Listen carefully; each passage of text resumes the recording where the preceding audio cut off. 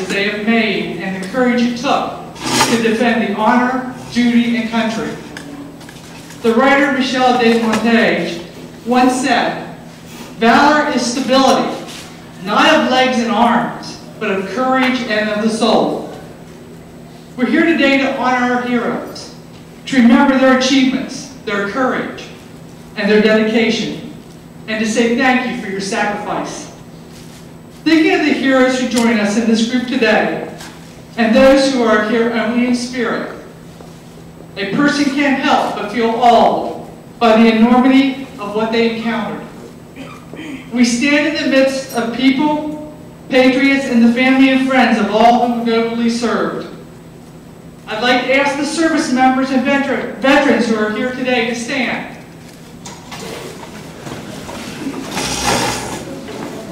Thank you for answering the call to duty. You have made our armed forces the most respected in the world. Please join me in a round of applause.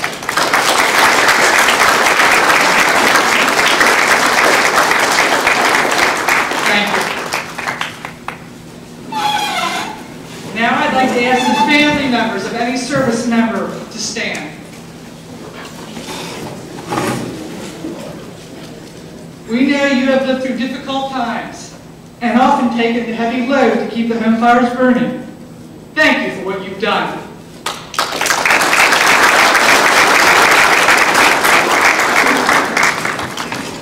The service members we honor today came from all walks of life, but they shared several fundamental qualities. They possessed courage, pride, determination, selflessness, dedication to duty, and integrity. All the qualities needed to, cause, to serve a cause larger than oneself. Many of them didn't ask to leave their homes to fight on distant battlefields. Many didn't even volunteer.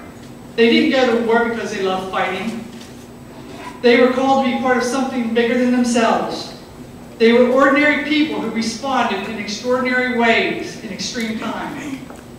They rose to the nation's call because they wanted to protect a nation which had given them and us so much. Since the first shots at Lexington and Concord were fired and our Revolutionary War began, American men and women have been answering the nation's call to duty. Millions of Americans have fought and died on battlefields here and abroad to defend our freedom and our way of life. Today, our troops continue to make the ultimate sacrifices. And even though we lose troops, more Americans step forward to say, I am ready to serve. They follow in the footsteps of the greatest generations of fine Americans. Veterans Day, originally called Armistice Day, was originally designated as a day to celebrate the end of World War I. The First World War ended November 11, 1913, or I'm sorry, 1918. And the legislation that created Veterans Day was, and I quote, dedicated to the cause of world peace and to be in to be hereafter celebrated and known as Armistice Day. As time went on and we engaged in further conflicts during World War II and the Korean War, veteran groups lobbied for a change. Rather than honoring the armistice and only those who served in World War I, the holiday would now honor all veterans of every war and conflict the United States has encountered. We honor our troops and their service and sacrifice ever since. Your presence here today is a tribute to the lost troops and to their families. It is a way to say we remember. From the soldiers who shivered and starved at the winter through the winter at Valley Forge, to the doughboys couched in the muddy trenches of France, to the platoons who patrolled the hazy jungles of Vietnam, and to the young men and women patrolling the mountains of Afghanistan. We remember and honor them all. Thank you for attending today. Bless you, your families, our troops, and the United States of America.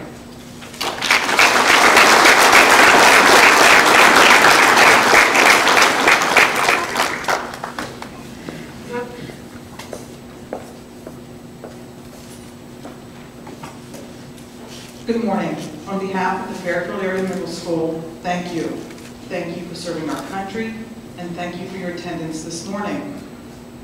The members of the Middle School Student Council and student ambassadors, under the direction of Mrs. Rhonda Johnson, are pleased to serve you this morning. Our students will be providing beverage service and clearing of the tables before we begin the poetry and musical portions of our program. At this time, I am proud to introduce our student council and student ambassadors. Students, please step forward with a wave as I announce your name. Mary Aker. Ethan Burgess.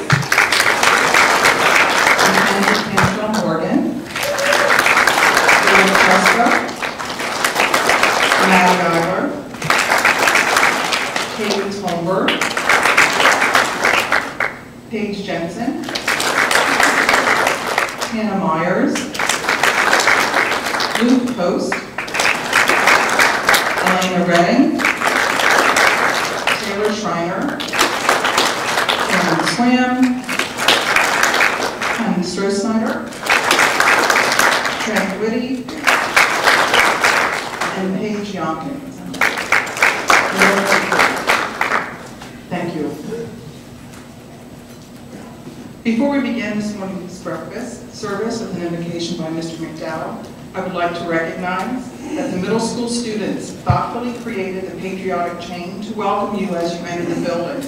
The patriotic thank you quilt, which is displayed in the lobby just outside the cafeteria, and the poppy table centerpieces. Elementary students have prepared the thank you cards located on the tables. The Veterans Wall was assembled by our elementary students and staff. And at this time, I welcome Mr. McDowell to the podium.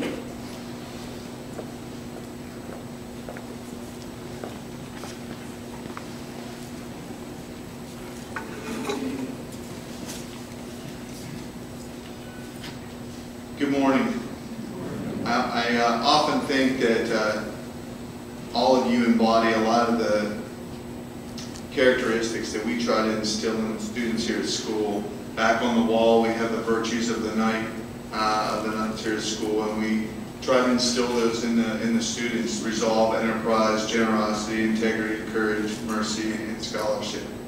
And so we often also talk about in the schools about serving others and serving others selflessly and others before self. And so uh, also on behalf of the high school and, and the district, we certainly, certainly thank you for all that you have done.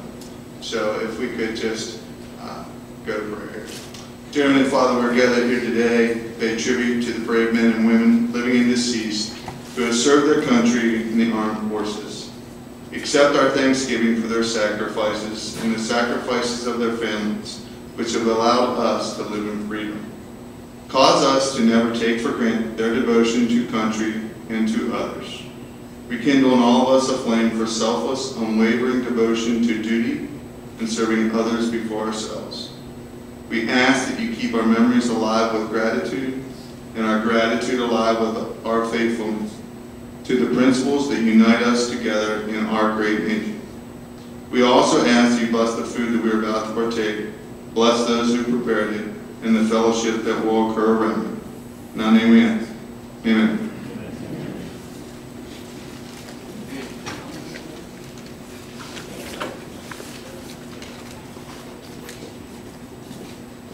The student council students will, will um, release you from tables to go to, to the buffet. Mrs. Johnson, you want to take over, please?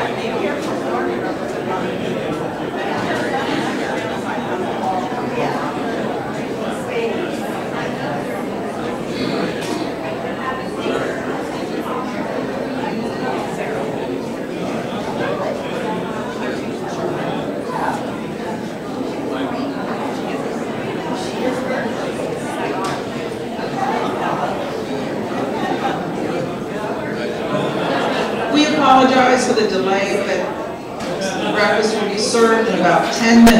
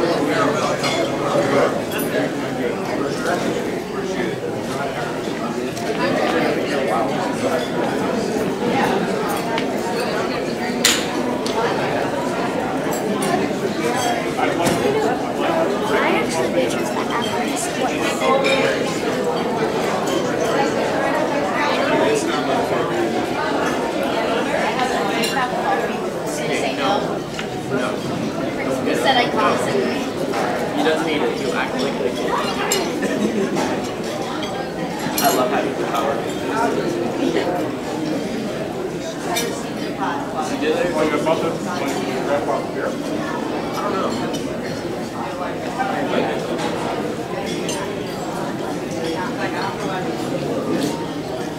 Change quickly.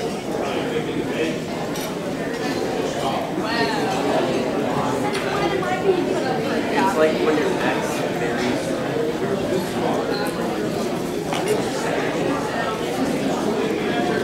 That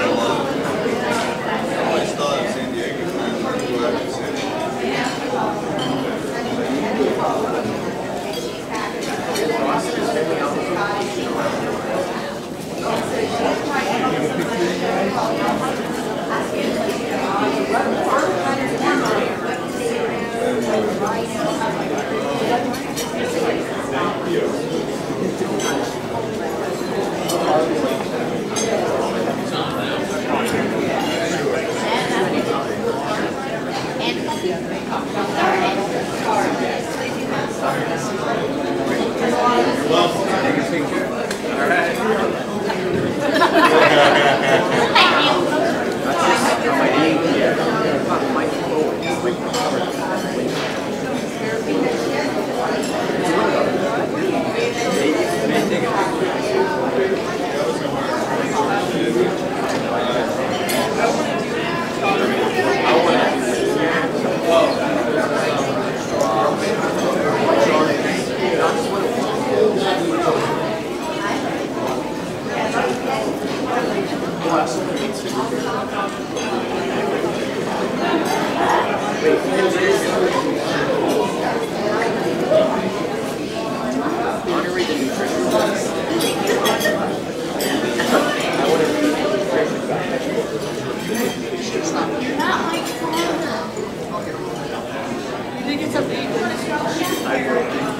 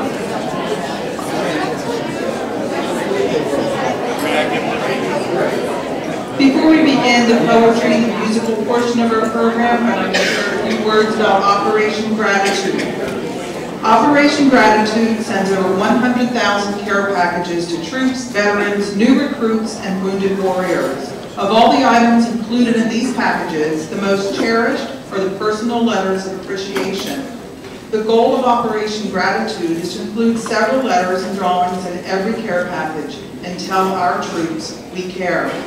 Operation Gratitude provides our seventh grade students a meaningful way to show their appreciation for our military. Our thank you to Mrs. Johnson and Mrs. Reynolds for their support in this project. As we celebrate Veterans Day within our school, there there may be no better way to honor our guests but through the words of our students. Our eighth grade students submitted descriptive poems recognizing and thanking you for your service. At this time, I introduce Mrs. Stephanie Yost, our eighth grade social studies teacher, to explain our Veterans Tribute for Poetry Project.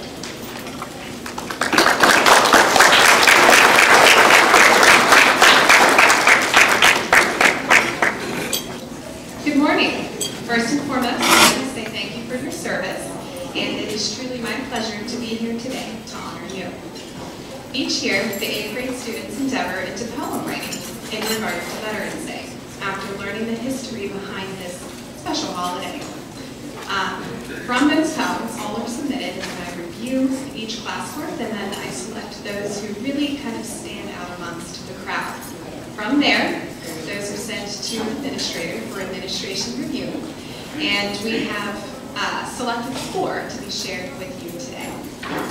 So first, I would like to welcome Sarah Crum to the podium for her poem.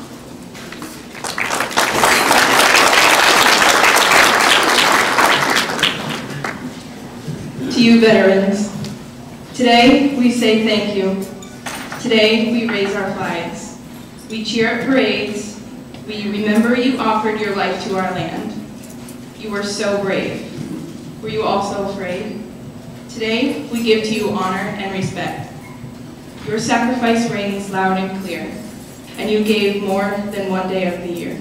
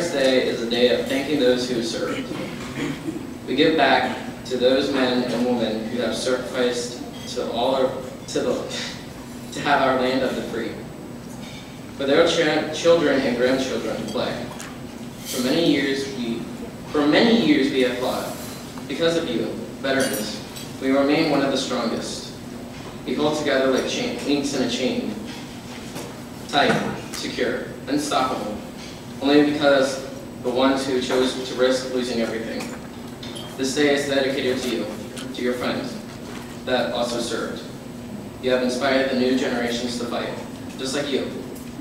You are the leaders and examples for us. We have major respect for you. We thank you for your service, and others do too.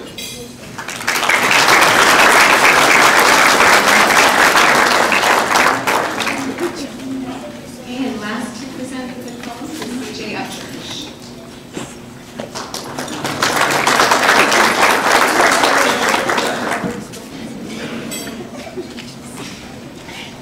Um, I may not know all of your names, but there is one thing that is the same.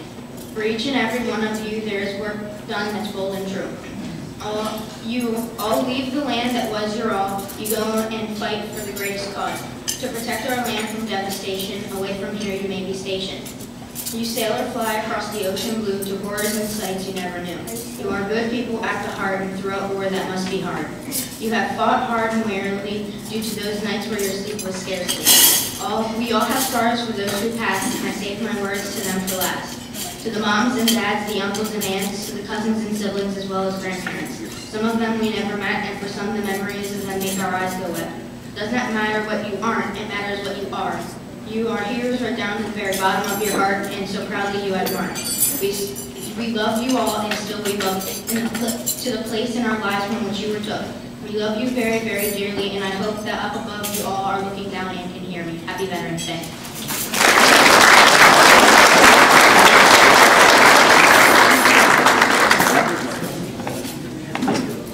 Thank you, students, for sharing your kind, kind words with us this morning. And we do have copies of the poems available um, at the exit of today's breakfast. At this time, I am pleased to present Mrs. Patsy Mills and the middle school chorus members, followed by